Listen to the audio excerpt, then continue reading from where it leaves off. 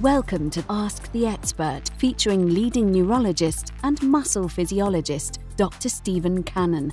In this episode of Ask the Expert, we cover some of the more frequently asked questions of this video series. Remember, the content in this video is not intended to be a substitute for professional medical advice, diagnosis, or treatment.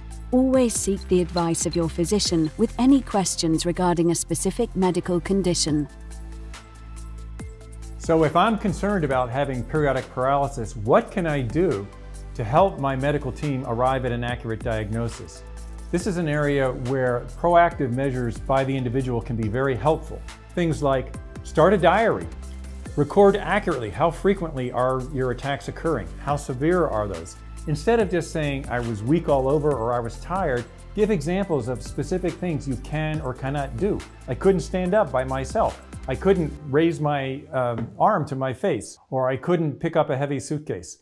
Another helpful thing is to uh, ask other members of your family and make a family tree and understand what other individuals are affected. It's also helpful uh, to take a video sample. So if during an episode a family member can take a, a, a video of the difficulties you're having, um, that can be of uh, tremendous uh, assistance at arriving at a diagnosis. The other thing to be aware of is where to turn, what options are out there. I would advocate that it's very important to be evaluated by a neurologist, and in particular, a neuromuscular specialist. So neurologists go on to subspecialty training in neuromuscular disease, and these are the experts who are best equipped to make the diagnosis. They've perhaps seen patients with periodic paralysis and have the equipment necessary to do the detailed electrical testing of muscle to arrive at a diagnosis. The management of this disorder is relatively simple. So once the diagnosis is established, then you can go back to your primary care doc and uh, receive all your follow-up locally. Um, but it's still worth the effort, perhaps even with travel, to go see a, a regional expert who can help establish this diagnosis because it'll change the whole outlook for how you try to manage this in your activities of daily living and optimize your level of performance. What happens most frequently is there's a, a, concern I have periodic paralysis, or I certainly have weakness that's severe enough that I'm going to go to my primary care doc and tell them about it. And the primary care doc is trying to help, and uh, they're not getting any definitive answers. And the possibility of periodic paralysis comes up on the list. And many primary care docs say, you know, this is odd enough and strange enough. I've never seen it. I'm going to make a referral to a neurologist. You should, you should get a full-on um, assessment. And statistically, what happens is neurologists say, Yep, I know all about this. I've seen this. You know what? You don't have periodic paralysis. I hate to say this, but often the neurologist is the killjoy in this interaction, right? It's the, it's it's um, you, you, know that's a big part of neurological practice. I mean, uh, probably 60% of the patients that come to an outpatient practice is to say, no, don't worry, that numbness and tingling isn't a problem. No, that tremor is not Parkinson's disease. No, that fainting spell you had was not a seizure no, no, no. And that's a lot of what neurologists do, actually. One way we might be able to get this message across is my primary care doc had a normal blood result and the genetic test is negative. He said, I can't have periodic paralysis. I'm stuck. Because the answer is you could still have periodic paralysis because the, the, the GP doesn't, you know, you read these stories in the book, oh, it should be easy. We're just going to measure potassium level. Oh, that can be ambivalent. We'll just do the gene test.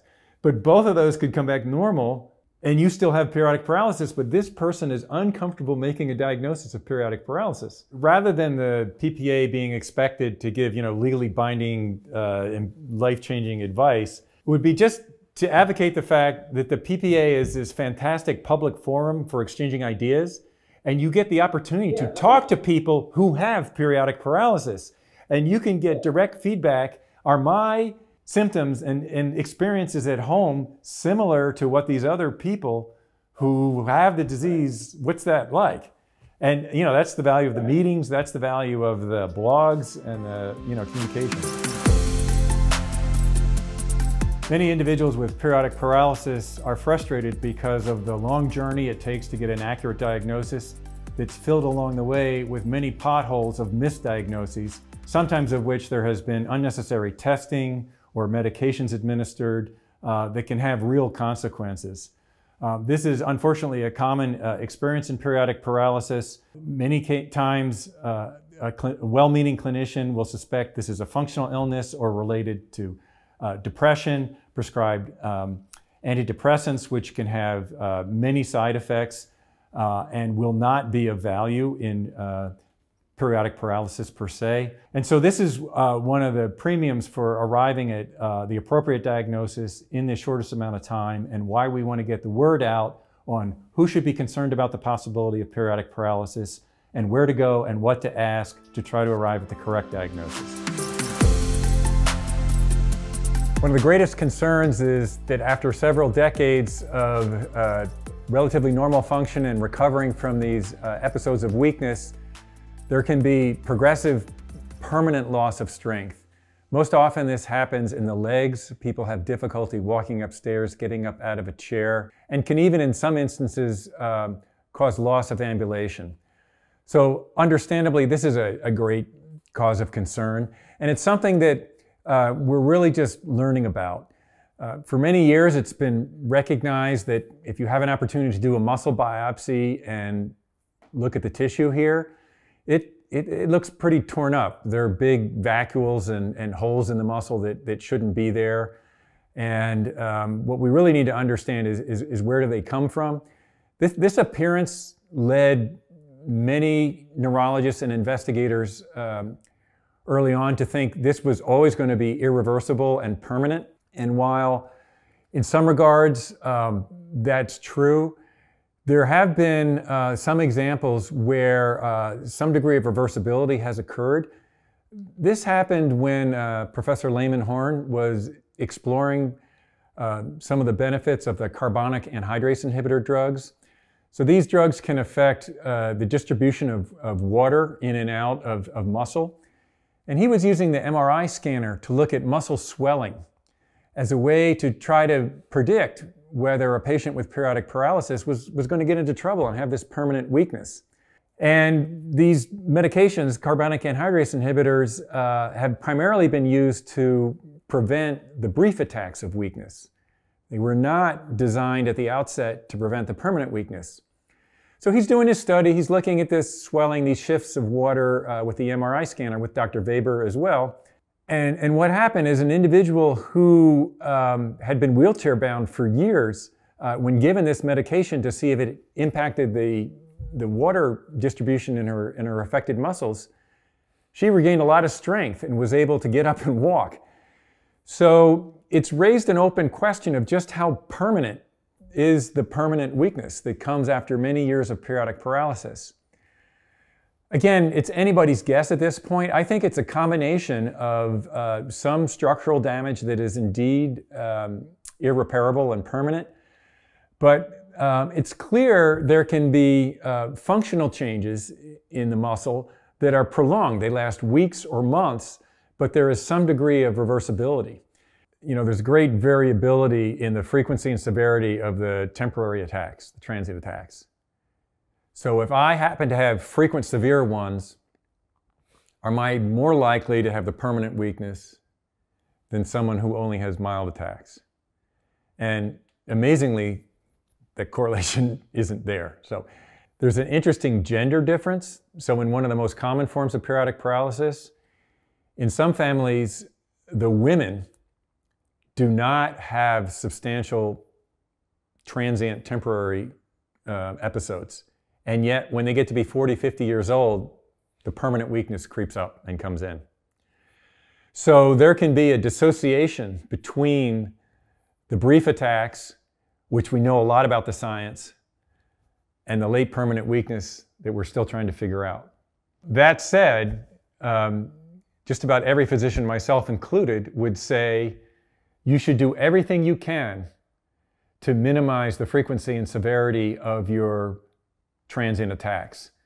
That we know when those occur, uh, the muscle is really struggling, there are major electrical problems, there's swelling that's happening, and that you should minimize the number and severity of those episodes to try to preserve muscle function. It's an interesting question because it, it leads people to ask, well, should I curtail my physical activity? Should I push more aggressively on taking medication to uh, minimize these uh, you know, transient attacks?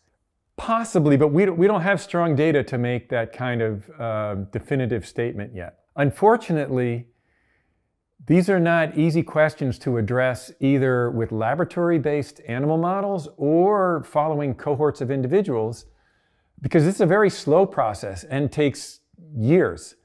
Uh, that doesn't mean it isn't worth doing it or that we shouldn't or that uh, it, we won't get into this area, but it just makes it even more difficult. And it, it's why um, progress has been lagging in understanding this permanent muscle weakness. Where does it come from? What can we do about it?